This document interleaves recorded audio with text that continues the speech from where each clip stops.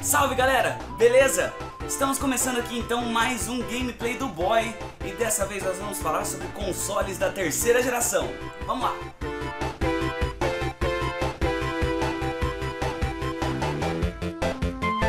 Consoles da terceira geração. Isso mesmo, os famosos 8 bits que nos trouxeram games inesquecíveis e felicidades que até hoje não encontramos igual. O início dessa geração foi marcada por uma guerra dos games no mercado. Afinal, os consoles e os jogos tinham saído dos olhos de muitos após várias decepções. Nessa era encontramos então três consoles. O Nintendo 8 bits, famoso Nintendinho, que foi oficialmente lançado no Japão em 1983. Lá ele era chamado de Famicom. E para chegar no mercado exterior, principalmente nos Estados Unidos, a Nintendo teve que criar uma estratégia de marketing muito grande e aceitar vários acordos com os lojistas, como por exemplo, comprar tudo que o mercado não conseguisse vender de volta. Chegando oficialmente nos Estados Unidos então em 1985 e finalmente no Brasil somente em 93. No Brasil, o NES chegou como clones feitos pela Gradiente chamado Phantom System, mas isso foi por pouco tempo.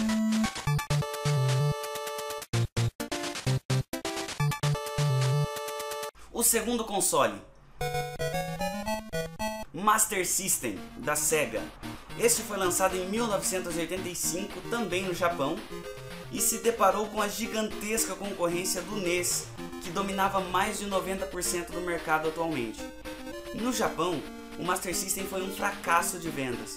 Então, em 86, ele tentou ir para os Estados Unidos, e nos Estados Unidos também foi um fracasso de vendas. O maior problema do Master System foi encontrar empresas para fazer jogos para ele, pois o contrato da Nintendo com as produtoras de jogos exigia exclusividade, impossibilitando que elas criassem jogos para outras plataformas, obrigando então que a SEGA também criasse a maioria de seus jogos sozinha. E como estava muito complicado enfrentar a concorrência na América e no Japão, a SEGA fechou a parceria com a Tectoy para entrar na Europa e na América do Sul. A Tectoy fez um marketing brilhante, fazendo com que o vermelhinho chegasse às nossas árvores de Natal em 1989, época em que o NES ainda nem existia no Brasil. Por esse motivo que quase todos nós conhecemos mais amigos que tiveram Master System do que o Nintendo. E por fim, o Atari 7800 Pro System. Esse foi lançado em 1986 para tentar recuperar o mercado de videogames de volta para a empresa. Ele trazia retrocompatibilidade com cartuchos de outros consoles, hardware mais potente do que a concorrência, porém possuía um baixíssimo acervo de jogos e não conseguiu sair das prateleiras. Lembrando que o fracasso do jogo ET e a decepção com o Pac-Man praticamente destruíram a empresa. Mas esse assunto rende o vídeo inteiro, então vamos continuar com os consoles. Como a Atari então não entrou muito nessa disputa da terceira geração, vamos então à disputa final. Nintendinho contra o Master System. Que ambos os videogames possuem uma vasta biblioteca de jogos, nós sabemos, mas quais valem realmente conhecer? O NES trazia o famoso bigodudo Super Mario Bros, que rendeu três games. Inclusive, o segundo game saiu totalmente do universo que ele apresentava no 1. Você sabe qual o motivo? Na verdade, o Super Mario Bros 2 era o jogo Doc Doc Panic no Japão, onde apenas trocaram os sprites do personagem principal, colocando o Mario, e lançaram o jogo dessa forma. Contudo, Mario é Mario. Dificilmente vamos encontrar jogos de aventura tão bons quanto este. E junto com esse grande sucesso, a Nintendo tinha o jogo Duck Hunt, aquele jogo de atirar em patos com a Wild Gun. Ainda tinha também Donkey Kong, Zelda, Metroid, enfim, esses jogos que até hoje o pessoal conhece.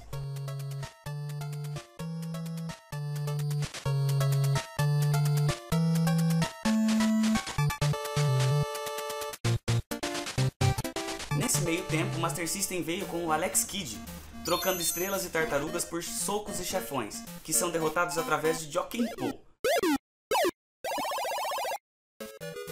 E para ajudar esse magnífico game a virar uma febre, o menino ainda vinha salvo na memória do videogame. Bastava ligar o console sem nenhum cartucho e lá estava Alex Kidd. Grande revolução nos games, todos se perguntam, como assim? Rodando jogo sem fita nenhuma? Logo em seguida, outros jogos foram ganhando seu espaço, como OutRun, California Games, Altered Best, Castle of Illusion com Mickey Mouse, Asterix e Obelix, Ken Siden e outros. Para confrontar o uso de armas no console que a Nintendo tinha, o Master System vinha com a Light Gun, e um dos jogos mais famosos para o seu uso foi o Rambo 3.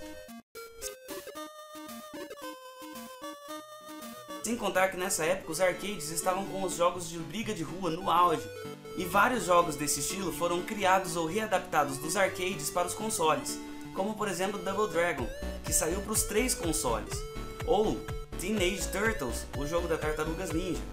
Claro, no mundo a popularidade ficou com o NES, enquanto aqui no Brasil o que tivemos em casa foi o Master System. E se formos levar em consideração quem está por cima até hoje, quem não conhece o Mario?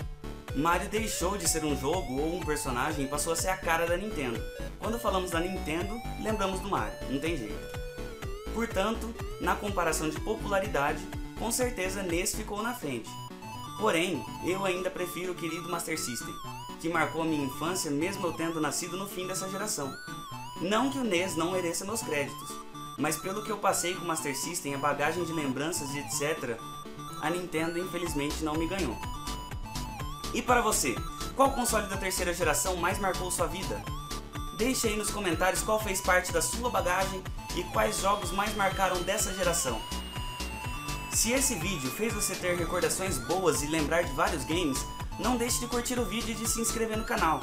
Aí você não perderá os vídeos novos que eu vou soltar e nem os gameplays que eu vou lançar, beleza? Valeu, falou!